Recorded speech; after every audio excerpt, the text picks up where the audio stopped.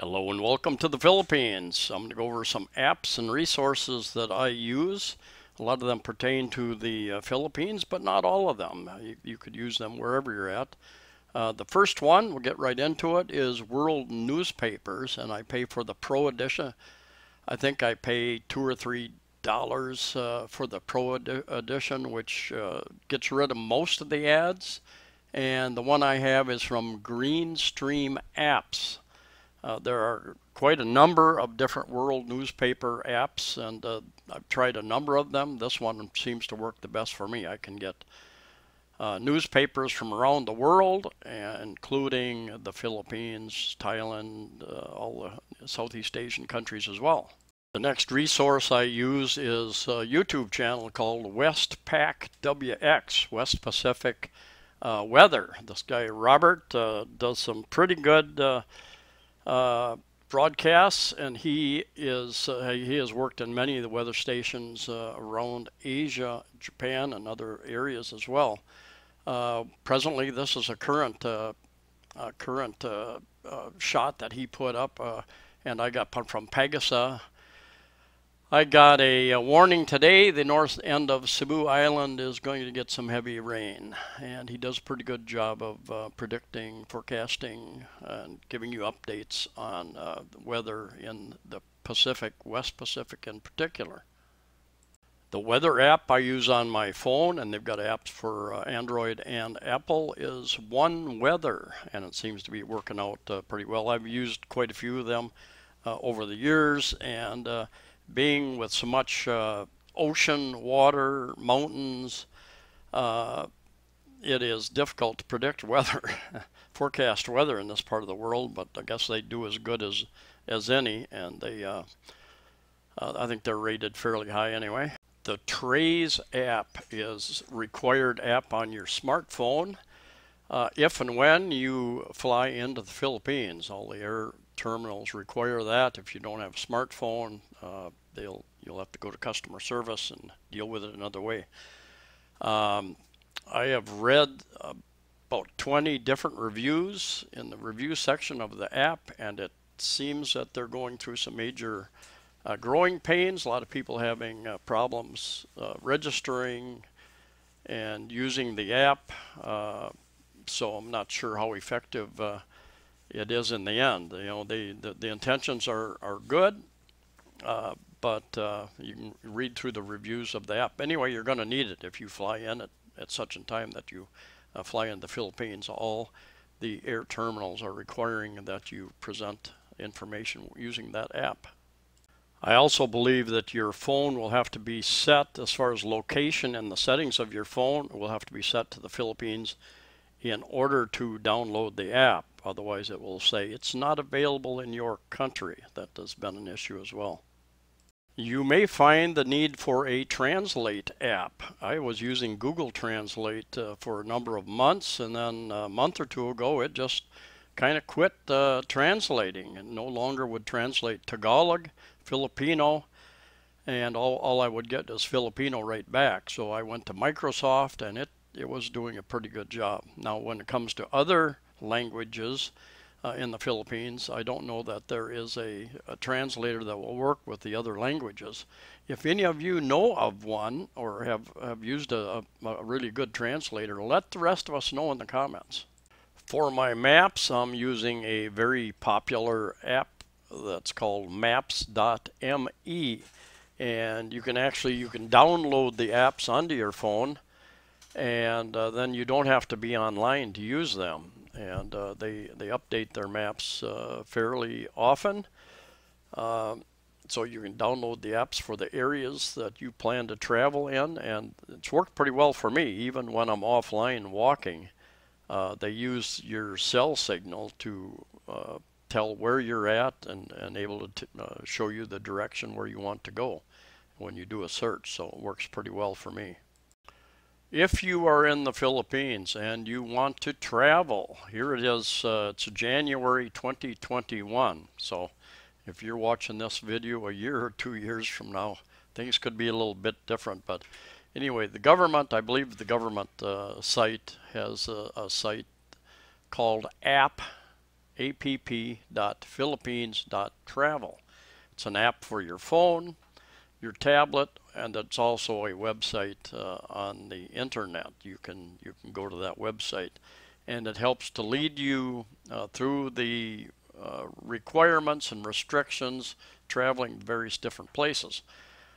I don't know how up to date the uh, the information is, but there is a lot of information there. It, it's uh, can be a, a, bit of a trick learning how to uh, find your way through all that information. And some of the information is because every LGU, local government unit, and every every region can have their own rules and restrictions.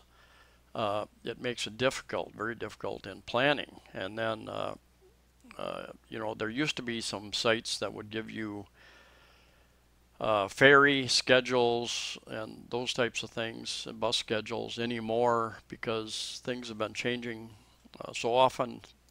Uh, you really need to go to the bus company or the airline company or the ferry company to find out uh, what their requirements and restrictions are.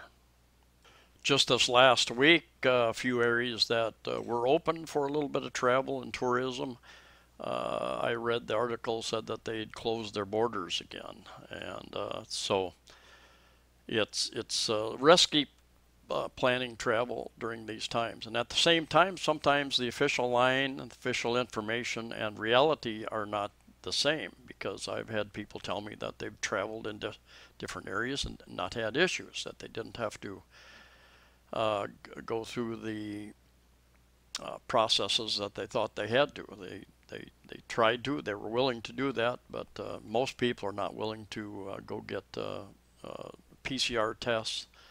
And PNP, uh, the Philippine National Police Authority, all the traveling and the the requirements, and maybe having to do a 14-day quarantine someplace.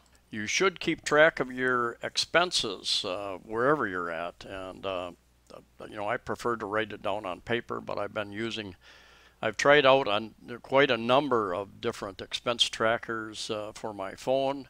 Monefy seems to be the easiest and most straightforward. Kind of shows me where I'm spending my, my money. You can set up a budget as well.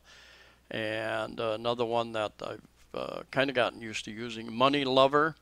A uh, little more thorough. You can do more things with it. I both of them I use the paid version, which allows me a little more leeway. And I know they cost two three dollars uh, for the app, so not very much at all. Uh, but I've tried a bunch of them, and uh, it's it's good to know where your money's going.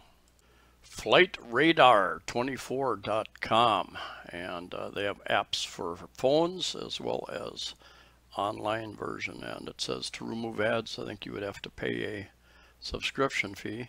Anyway, let's come over here to the Philippines and uh, just give you an idea you can uh, just put your cursor on a plane find out what it is.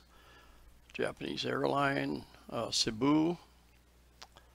And you can click on it and I don't have it. It tells you over to the left I don't have it all in this screen. It tells you uh, all the information scheduled uh, arrival scheduled departure uh, actual time uh, what plane it is tells you a number of different things about the plane. Uh, so anyway, it's kind of fun to play with. And if you are scheduled on a flight, uh, but you can see there are not very many flights going around. Even let's go up here to Manila. Give it time to refresh. There are not many flights. Marinetraffic.com. Uh, I have a app on my phone as well and uh, interesting to track. Look at all those, uh, the U.S., Europe up here, Africa here, the Mediterranean, but there again you can get additional information uh, about what it is, a tanker, cargo vessel, cargo vessel, and what are these, pleasure craft, pleasure craft, the purple ones are pleasure craft anyway. Let's run over here to Philippines.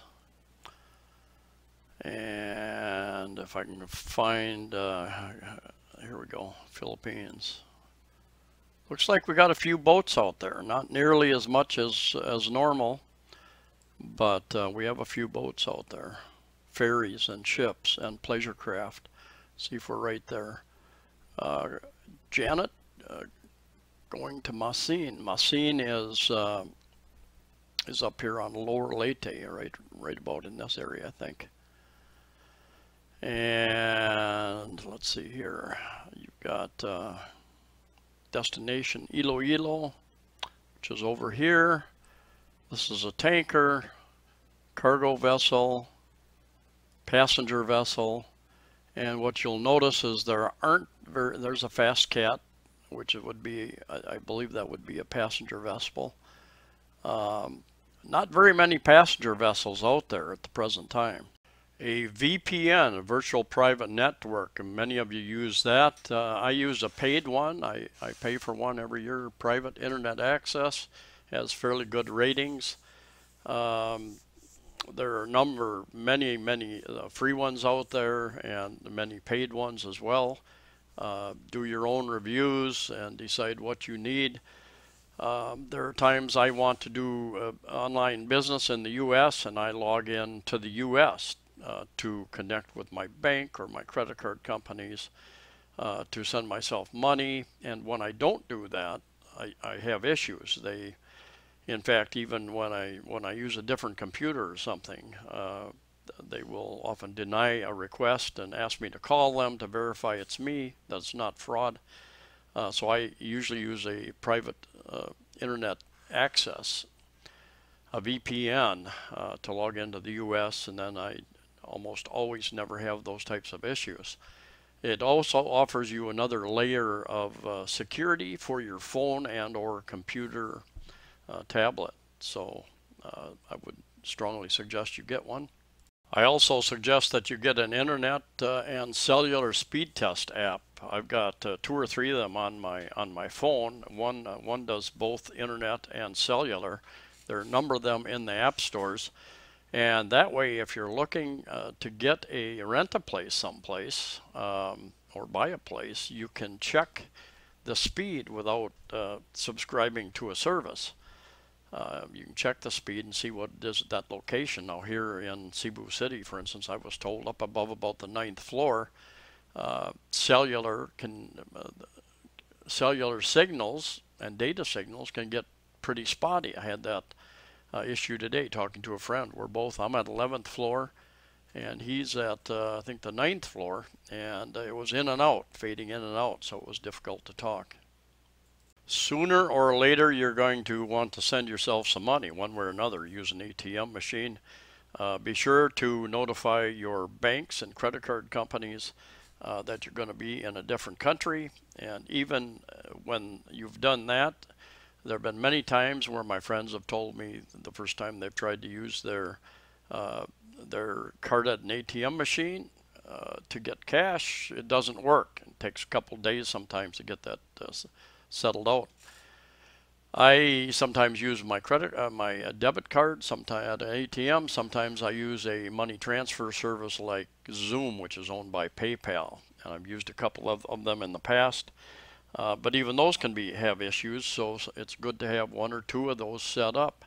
Uh, today, for instance, I used a different device to try to uh, send myself money, and it was going to take like three days. Usually, it's like two minutes, and it's there. And uh, I canceled it, went to an ATM machine, and later they sent me an email saying they had canceled it because of security issues.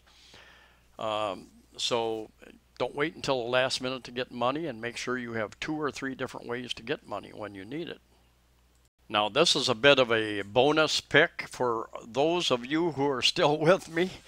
I think uh, the, the average watch time on a lot of these videos is uh, uh, five, seven, five, seven, eight minutes, just depends upon uh, the video.